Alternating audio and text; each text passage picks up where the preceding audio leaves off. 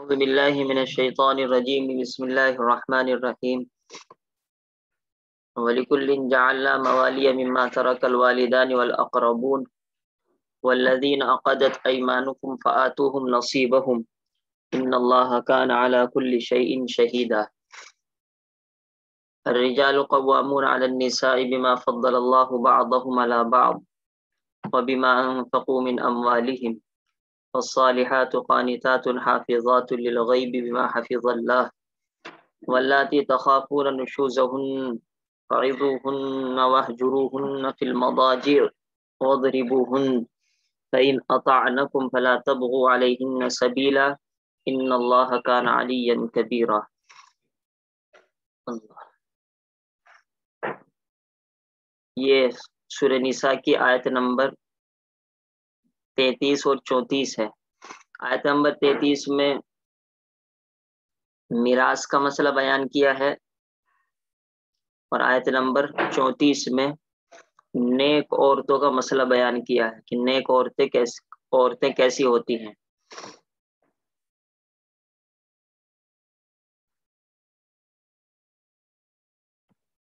ये आयत नंबर तैतीस का तर्जमा है। और हर ऐसे माल के लिए जिसको वालिदैन और रिश्तेदार लोग छोड़ जावे। हमने वारिस मुकर्र कर दिए हैं। जिन लोगों से तुम्हारे अहद बंधे हुए हैं, उनको उनका हिस्सा दे दो। बेशक अल्लाह ताला हर चीज़ पर मुतले है। पहले आप ये समझ लीजिए कि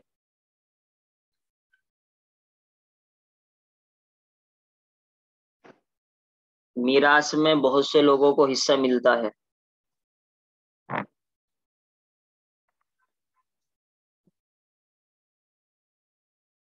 लेकिन तरतीब है कि अगर ये रिश्तेदार होगा तो इसको मिलेगा और उसके बाद अगर दूसरा रिश्तेदार को जब मिलता है, जबकि पहला रिश्तेदार ना हो। पाँच रिश्तेदारियाँ तो ऐसी हैं जिसमें हर हाल में उनको हिस्सा मिलना ही मिलना है। ये याद कर लीजिए पाँच रिश्तेदारियाँ नंबर एक माँ बाप नंबर दो बेटा बेटी चार हो गए। माँ बाप दो बेटा बेटी चार। और बीवी अगर मरे तो शोहर शोहर अगर मरे तो बीवी। जो भी अगर आदमी मरेगा तो पाँच रिश्तेदारों को हिस्सा मिलना यकीनी है, हर हाल में उनको हिस्सा मिलेगा। बेटा बेटी और माँ बाप और बीवी का इंतकाल हो तो शोहर शोहर का इंतकाल हो तो बीवी। ये पाँच रिश्तेदारियाँ हैं। पाँच के बाद अगर मिसाल के तौर पर बेटा बेटी ना हो तो इस सूरत में भाई बहनों को मिलता है। वो तफसील है।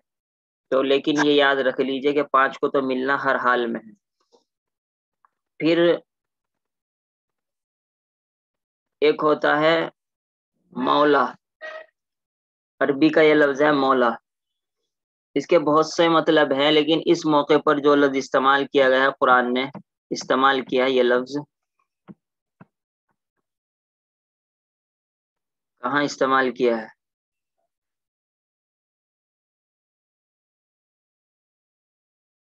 बल्कि यहाँ चल तो ये मवालिया मौला इस्तेमाल किया है। तो इसका मतलब यहाँ पर यह है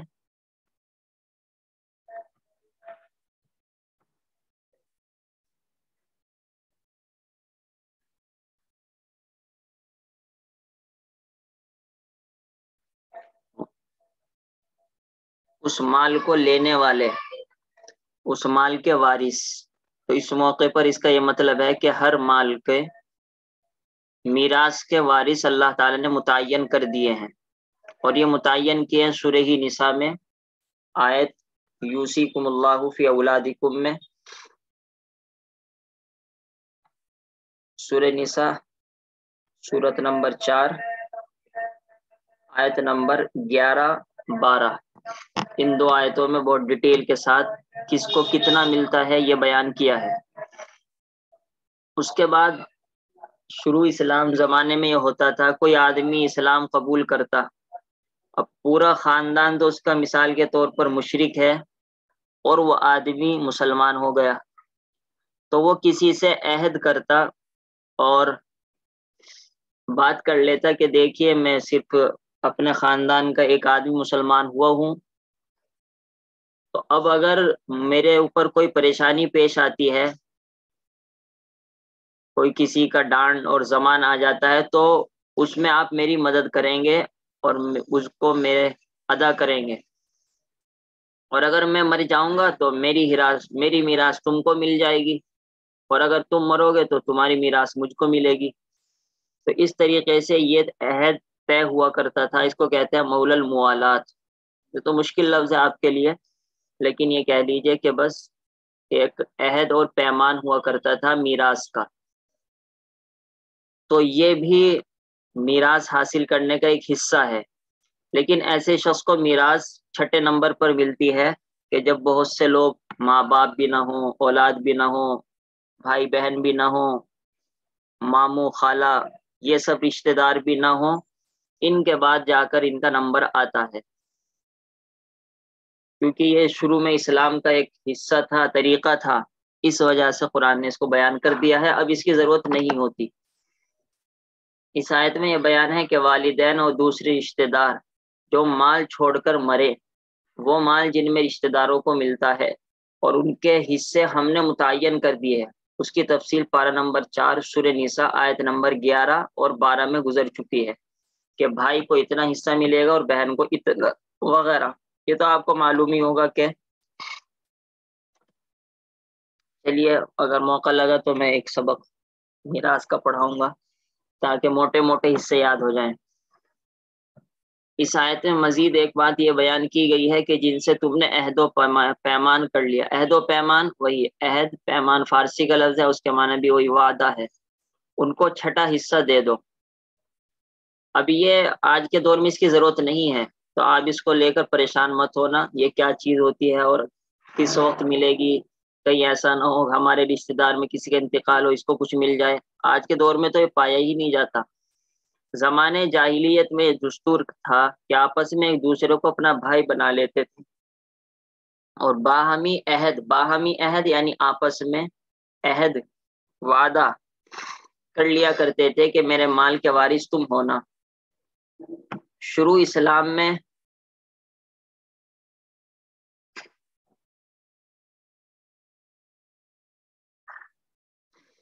शरीयत ने इसको अदा करने का हुक्म दिया, मगर बाद में जब रिश्तेदारों के हिस्से कुरान शरीफ ने मुतन कर दिया उस सुरह हजाब सूरत नंबर तैतीस, आयत नंबर छः वउल अरहाम बादुहुम औला बिबाद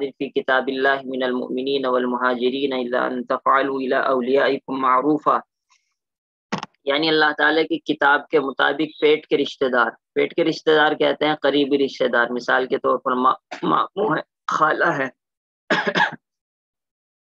और दूसरे मोमिनों और महाजरीन के मुकाबले में एक दूसरे पर मीरास के मामले में ज़्यादा हक रखते हैं।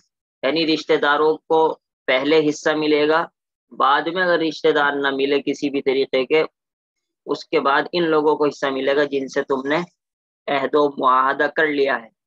मगर ये कि तुम अपने दोस्तों के हक में कोई वसीयत करके उनके साथ कोई नेकी कर लो। यानी अगर तुम वैसे ही दे दो तो बात अलग है, लेकिन मीरास में इनको हिस्सा नहीं मिलेगा, जिनसे इस तरीके का वादा हो जाता है कि अगर मैं मर गया तो तू मेरा, मेरे मीरास का मुस्तक बनेगा, अगर तू मर गए तो। मैं बन जाऊँगा। इस आयत से यह हुक्म मनसूख खत्म हो गया। यानी पहले तो पहले ही नंबर पर ऐसे आदमी को हिस्सा दिया जाता था। लेकिन इस आयत में बतला दिया कि पहले रिश्तेदारों को मिलेगा, रिश्तेदारों के मरने के बाद इनको मिलेगा। तो ये एक तरह का हुक्म खत्म हो गया, पहले नंबर का हुक्म हट गया और उसके बाद छठे नंबर पर पहुँच गया। लिहाजा अब तर्क कमाल इन्हीं रिश्तेदारों में तकसीम किया जाएगा जिनको कुरान हदीस ने मुतन फरमाया है। अलबत् ऐसे लोगों के लिए जिनसे मुआहदा किया हो, कुछ माल की वसीयत करना मुनासिब है। यानी अगर आप कुछ देना चाहें तो दे दे। मीरास में हिस्सा नहीं मिलेगा। देखिए, एक तो होती है मीरास एक होती है वसीयत। मीरास तो अल्लाह ताला की तरफ़ से मुतन है कि बीवी को आठवां हिस्सा मिलेगा और बाप को छठा हिस्सा मिलेगा। इस तरीके से मुतन है। इसमें कमी ज़्यादा नहीं कर सकते। कोई कितना भी ज़ोर लगाना चाहे, उससे कमी ज़्यादा नहीं हो सकती। लड़की को मिलेगा तो मिले के मिल के रहेगा। किसी लड़के के और माँ बाप के खत्म करने से खत्म नहीं हो सकता। एक होती है वसीयत वसीयत अपने हाथ में होती है। अगर आप मरने से पहले कहेंगे कि फुला माल उसको दे दो तो यह मिलता है, नहीं तो नहीं मिलता। लेकिन इसके लिए बहुत सारे मसाइल हैं वसीयत के लिए। ऐसा नहीं है हर वसीयत पर अमल किया जाए और हर आदमी के लिए वसीयत चलती हो। ये बहुत से मसाइल इन पर हैं। अब ये अहम आयत है जो आपको असल पढ़नी है। यानी औरतों के लिए ख़ास तौर पर यह आयत है। वो ये, मर्द हाकिम है औरतों पर।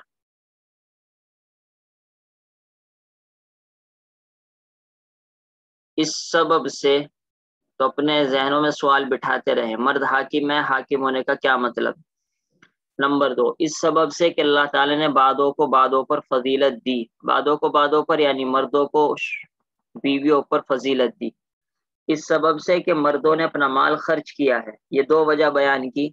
एक तो अल्लाह ही ने फजीलत दी और दूसरे ये माल खर्च करते हैं। सो जो औरतें नेक हैं इतात करती हैं, मर्द की अदम मौजूदगी में बहिफाजत इलाही निगहदाश्त करती हैं।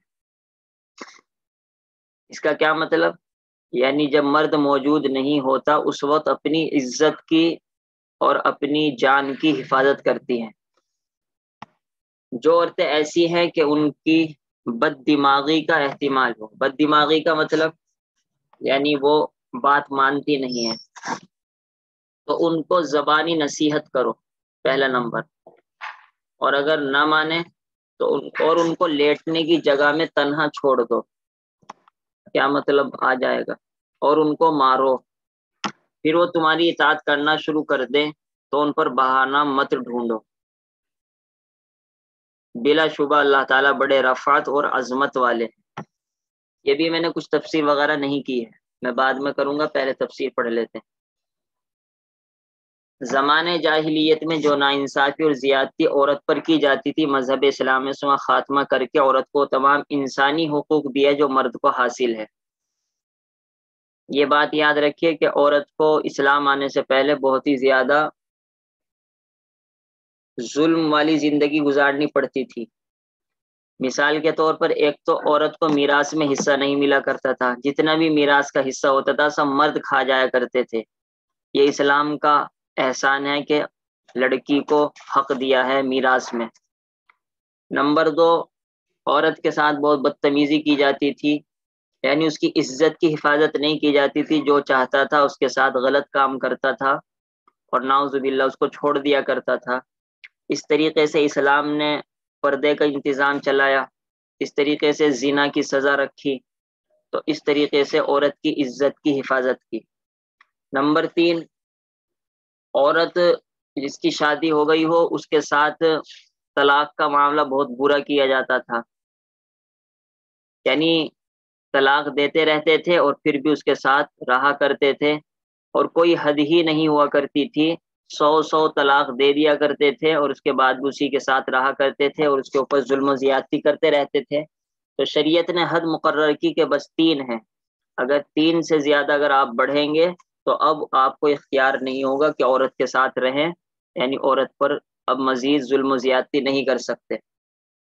इसी तरीके से किसी बीवी को अगर किसी ने तलाक दे दी तो उसके बाद भी बीवी खुद अपनी शादी नहीं कर सकती थी, बल्कि उसका भाई चाहता उससे शादी कर लेता। उसका शोहर जिसने तलाक दिया है, वो चाहता था वही उसके घर में रहती थी, ना वो खुद शादी करता था, ना दूसरे से शादी करने देता था। इस्लाम ने इसको भी ख़त्म किया कि नहीं, जब तलाक हो गई, उसके बाद अब बीवी को इख्तियार रहेगा, वो खुद अपनी जहाँ जहाँ, चाहे शादी करे। इसी तरीके से इद्दत, जब तलाक होती थी, इद्दत गुजारने के लिए उसको एक कोठड़ी में बंद कर दिया जाता था और ना नहाने दिया जाता था, ना उससे कोई मिलता जुलता था।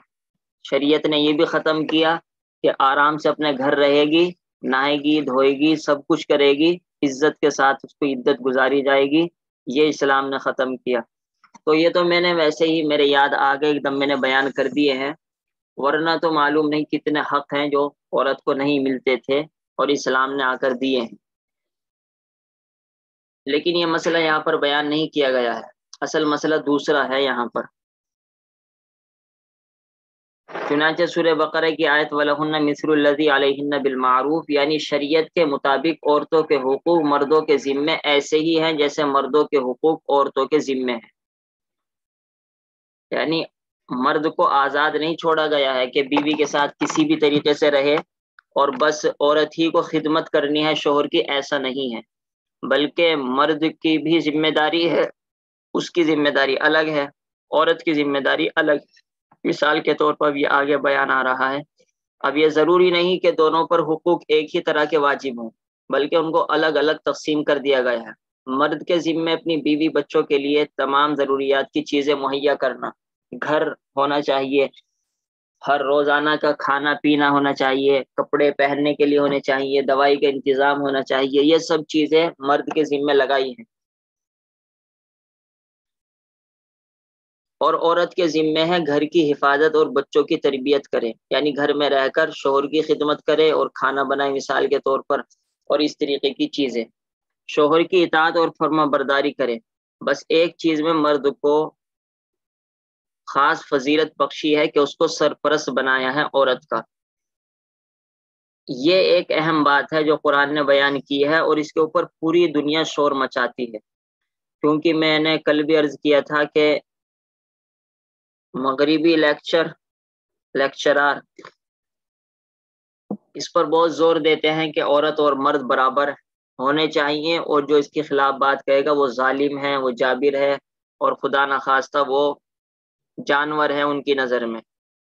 और कुरान यहाँ पर ये कह रहा है कि मर्द हाकिम है, औरतों पर यानी मर्दों को सरपरस्त बनाया गया है, जिम्मेदार बनाया गया औरतों के मुकाबले। में दूसरे अल्फाज में कहेंगे शोहर सरपरस्त है बीवी का। ये लफ्ज उनसे बर्दाश्त नहीं होता। और इसी वजह से कहते हैं कि अगर कोई आदमी बिल्कुल उनके पीछे चलता रहता है तो वो आदमी काफिर हो जाता है, क्योंकि उनके बहुत से मशवरे और ओपिनियंस इस्लाम से टकराते हैं। इस वजह से इसको अच्छी तरीके से समझने की ज़रूरत है। कि एक चीज़ में मर्द को खास फजीलत बख्शी है, उसको सरपरस्त बनाया औरतों का। यह कुरान ने कहा है तो हमको मानना पड़ेगा। एक मुसलमान के लिए तो इतना काफ़ी अल्लाह ने फरमाया, क्योंकि यह कुरान अल्लाह का कलाम है, कोई मेरा और आपका तो है नहीं। बाकी उनको समझाने के लिए जो समझना चाहता हो, उसका यह है कि उसको आगे लिखा हुआ है, उसको भी अगर गहरी नज़र से देखा जाए तो उसमें भी औरत ही का फ़ायदा है। शोहर की सरपरस्ती में वो अपनी इसमत और आबरू वगैरह को मुकम्मल तौर पर महफूज रख सकती है। देखिए, हमें तो तजर्बा है एक जगह की। जब तक के वहाँ पर उनके वालिद साहब थे तो एक शहर का वाकया है तो वो घर ठीक चलता था। वहाँ उनकी बेटियाँ भी सही रहती थी और उनके बेटे भी सही रहते थे। लेकिन अल्लाह का करना यह हुआ कि उनका इंतकाल हो गया वालिद साहब का। तो उस वक्त से बेटे भी आज़ाद हो गई और बेटे भी आज़ाद हो गए। और मालूम नहीं क्या करते हैं, क्या नहीं किसी के बारे में कुछ बात नहीं कहनी चाहिए। लेकिन एक ज़ाती तजर्बा है कि और अल्लाह ताला ने जब तक के मर्द को रख रखा था घर में तो सब कुछ सही चल रहा था।